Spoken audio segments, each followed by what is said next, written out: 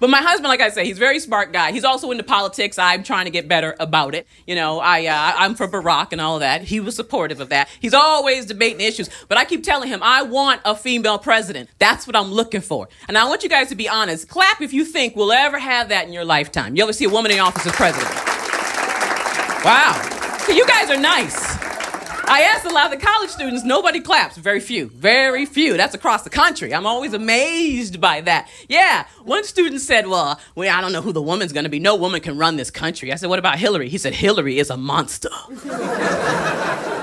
I said, Wow. Wouldn't that be great if Hillary took her camera crew to that kid's house? and when he opened the door, she would eat him right there on the camera. Like, she is a monster. She will eat the enemy. I'm so pissed off. I want an all female angry cabinet. That's what I want. Bunch of angry women in office. I want Hillary to be president because she looks pissed off all the time, right? I feel like it's her turn. I want her vice president to be that ex governor of uh, New York with Spitzer. I want his wife to be Hillary's vice. They have a lot in common. Then I want to go way back and take that governor McGreevey from New Jersey. Let's take his ex wife. He's the governor that came out and told the whole world he was gay before he sat down and told his wife. Oh, she's still angry, let me tell you. Between all those women, there's enough anger, resentment, and humiliation. Taliban can't mess with that. You know what I'm talking about? Mm-mm. Like, we ain't messing with them bitches. Uh uh-uh. uh. Let's get on our donkeys. It's over. My girlfriend, she's one of those people. She likes celebrities to run for office, so she thinks Oprah should be president.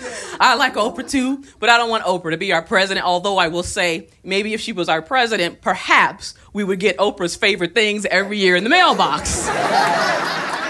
You might walk out there, there might be a, you know, a key to a car, maybe a coupon to a flat screen TV. But you know, Oprah is a humanitarian, and she would make us all step up to the plate. One year we'd walk out and there'd be a little South African child just standing there waiting for all of us.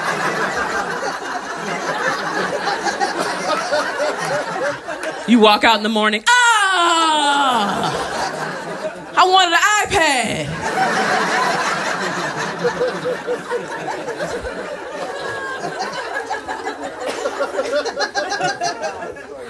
you hungry? Come on. I'm gonna name you barbecue.